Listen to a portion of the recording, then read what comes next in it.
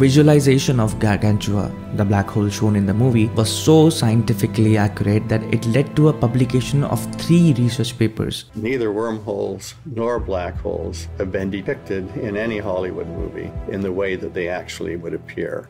Some frames took over 100 hours to render and would have required 800 terabytes of data. And that's why it looks so fucking mesmerizing on screen. Oh, and the fun fact, the first real image of the black hole was released in 2019, 5 years after the movie was released, and looked eerily similar to the Gargantua. Nolan was way ahead of his time. The Gargantua scene in Interstellar isn't just visually stunning, it's a scientific marvel that changed how we depict black holes in cinema. Christopher Nolan wanted the black hole to be as accurate accurate as possible. So Kip Thorne provided the real equations describing how light bends around a black hole. The visual effects team then turned those equations into actual rendered images and what they discovered, a black hole like we have never seen or imagined.